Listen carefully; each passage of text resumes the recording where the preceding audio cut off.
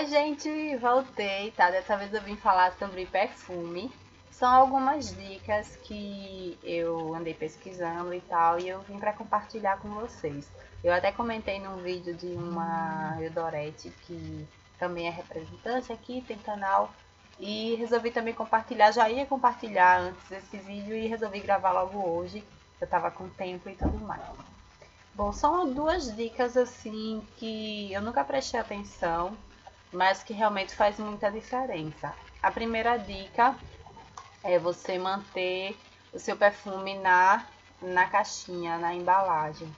Porque é, muitos perfumes eles têm uma facilidade em alterar o cheiro ou a cor com relação à luz solar, tá? Então, se você tem uma penteadeira assim próximo da janela, e o sol, a luz do sol bate lá ou recebe muita luminosidade, pode ser que seu perfume altere o cheiro ou altere também a cor. Então, eu nunca liguei para isso, eu sempre deixei meus perfumes assim à vontade. E tinha realmente muitos que, com o passar do tempo, eles mudavam de cheiro, mudava de, de, de coloração. E eu achava que o perfume assim já tinha estragado assim normal mesmo, mas muitas vezes ele ainda estava na validade e acontecia isso. E recentemente foi que eu descobri, né, essa dica é tão simples assim de manter o perfume dentro da caixa, porque você vai proteger ele da, da luz solar.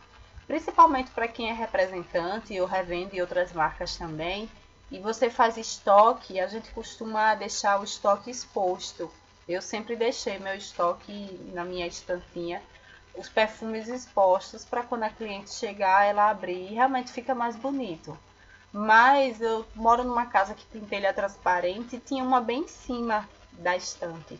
E aí eu tirei a, a telha transparente e passei a guardar os perfumes dentro da embalagem para não perder, porque podia ser que ele mudasse o cheiro a coloração e aí eu não ia ter mais como vender, né?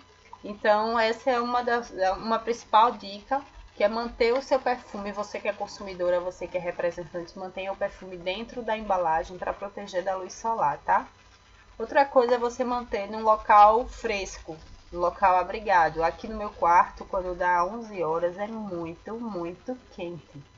Parece um forno, uma sauna. E eu já percebi que isso afeta. Então, o que foi que eu fiz? Eu coloquei meus perfumes no andar mais de baixo da, da minha estante, que não fica tão próximo do teto, que é casa de telha, então esquenta bastante.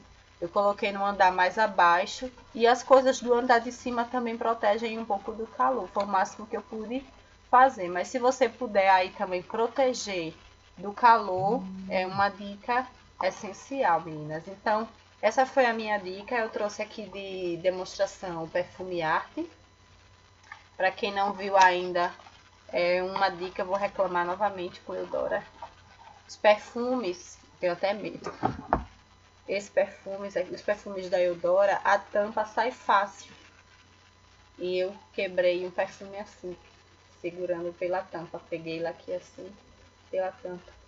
E esse aqui, arte, ele é aberto aqui, ó. A redinha. Então, muitas vezes você pega aqui e ele cai. Ó, vou nem deixar cair aqui. Até um, uma dica de perfume, perfumaria também, né? Para os perfumes da Eudora. Você pegar com bastante cuidado, porque nem sempre a tampa ela tá bem fixa, né? Algumas são mais fixas, mas nem sempre elas estão fixas, tá? Bom, foi isso. Minha dica de hoje foi bem rapidinho, é só pra, porque eu quis compartilhar mesmo. Afinal, o perfume é um produto de investimento um pouco mais alto. Então, se a gente souber conservar ele para que ele dure mais tempo, melhor para o nosso bolso, né? Beijo e até a próxima!